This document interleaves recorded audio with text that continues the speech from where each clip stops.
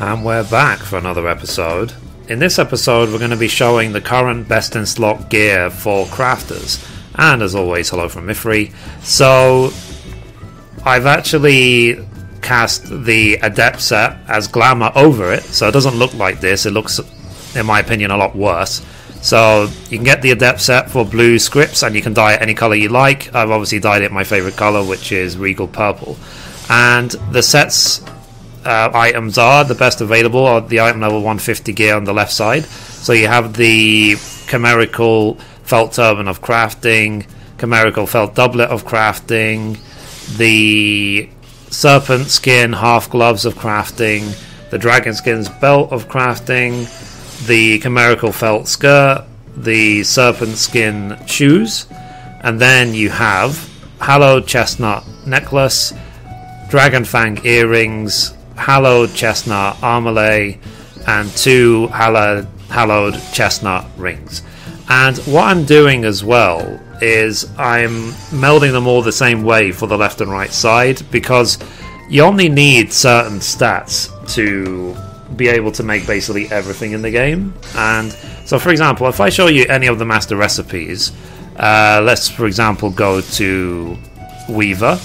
And using the rotation I showed in the 60 progression guide, I was able to buy every single master recipe book and the adept set all in a couple of hours, just uh, making tons and tons of turn ins for the uh, collectibles. So you can see here required control 589. We have 608. And let's see if any other item. There's some items which require a certain amount of uh, synthesis. So I was trying to remember which ones those were.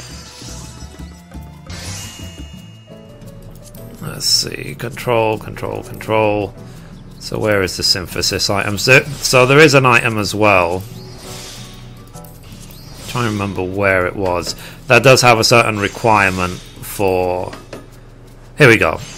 So I guess the minions have a requirement of 620 craftsmanship.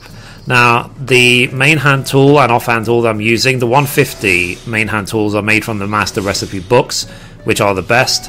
And the offhands level 59 are just available to you generally. You know, they, they will become available to you at between level 56 and 60 anyway, so they're right here, the offhands. There isn't anything better than those at the moment. And what I've done as well is I've melded all of my left side with 5 craftsmanship and 3 CP in every single case. Just for the sake of it, it's not what you need. I just did it for the sake of keeping things simple. The only over melds I've done, as in melded materia not in a guaranteed slot, are the CP on the belt and the main hand tool. Every every other meld is guaranteed. I've used no rank 4 materials, there's absolutely no point. If you get a bunch of extra ones from finishing all the level 58 and 60 quests, sell them. You could use the guild later. We will revisit how to do the melding when 2 star and above comes out for crafting, but for now, this is more than enough to high quality and make any game in the item currently available.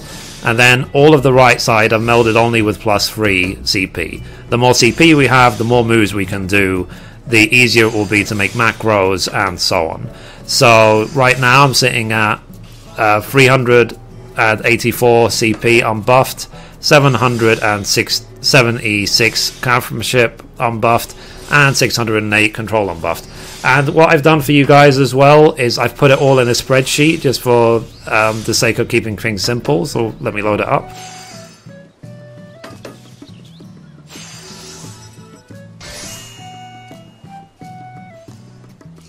Okay, so this spreadsheet, um, I've listed all the items that I've already discussed, and obviously it's the high quality versions that we're interested in. I was able to high quality every single piece myself using the rotations I've already shown. It was very easy to do, it really didn't take long. And I've said main hand tool level item level 150, offhand tool item level 140. I've done all the calculations and all the stats. I worked out that the like the targets were 620 um, craftsmanship and 589 control. So I, I made this spreadsheet to make sure that with the minimum amount of materia we would reach there. If you have all of this gear uh, without any melds at all, you will still exceed these targets. That's the thing. So try and get this gear, the crafted high quality gear will make your life a lot easier. Uh, Definitely a lot easier than having the melded set. This is a live spreadsheet. I will keep this up to date as things change. I still need to update these uh, craft control amounts for each craft just to show my progress. And what I've coloured in here, here in green are just the um, what I've collected so far. Basically, this is an indication to me, and also I'm keeping track just for my own geeky, nerdy nature how close I am to the last uh, two luminaries for um, Armorer and Culinarian because I have every other luminary, and also the new achievements they've added in. If, if you craft high quality 10,000 times on any craft, you will get a master title. So, Master Carpenter, Master Blacksmith, Master blah blah blah. So, if you craft 10,000 times, so my closest one right now is actually Alchemist, but you can see this kind of sums up the amount of like high quality crafting I've done since A Realm Reborn came out, given that I've got thousands and thousands of high quality crafts on all eight of the crafts. I mean, it just sums up how much I love crafting in this game.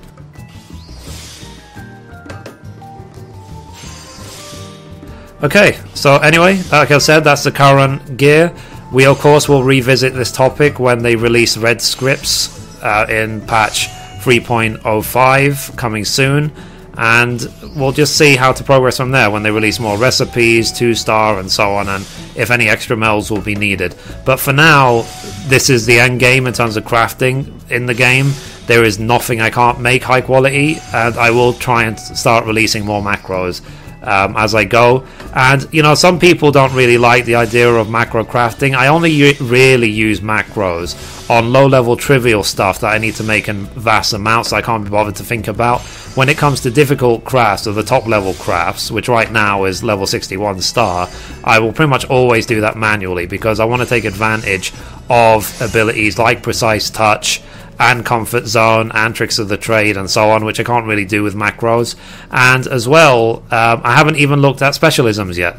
So once I'm fully decked out, once I've finished all of making all of the crafting tools for all eight crafts, then I will look at specialisms and see what advantage they bring. But basically, um, you know, we managed to reach this point really quickly. If you've reached this point alongside me or even before me, you know, good job. Very proud of you. You know, I do absolutely love crafting in this game. And um, as well, um, when I have time, I'm going to make an equivalent guide for Best in Slot for gathering. But more important than that right now is for me to finish the main story, unlock flying in all the zones, because I can't really be an effective gatherer until I can fly everywhere and get to all the nodes. So yeah, that's uh, that's me, guys. That's where I am right now. You know, I can't stop doing this. I just love it too much.